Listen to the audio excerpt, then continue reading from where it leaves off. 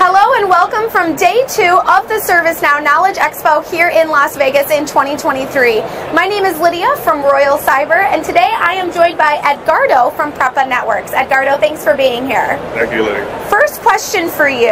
How has your overall experience been with using ServiceNow? Well, our overall experience has been pretty great.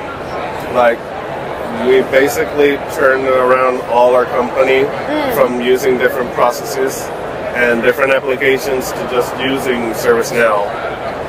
Like almost everything is wow. integrated to ServiceNow. Wow. On that note, what aspects of ServiceNow have you found most beneficial for your work at Prepa Networks?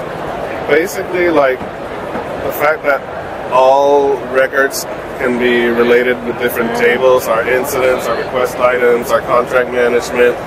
Like having a track of everything has been huge improvement for us. I could see how that could be beneficial. On the flip side, what challenges, if any, has your company faced with either implementing or using ServiceNow?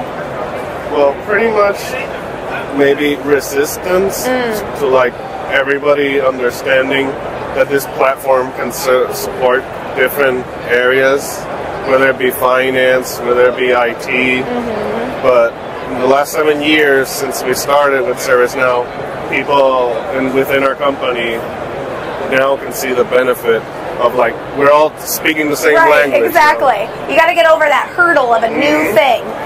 How does ServiceNow integrate with other business services that you're currently using?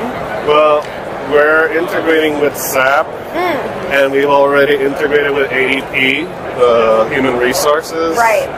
So, again, being able to, we, we also use APIs so basically, it's, it's a very flexible platform to expand capabilities. That's great. Last question. What is your favorite feature of ServiceNow and why? Um, I would probably say dashboards. Okay.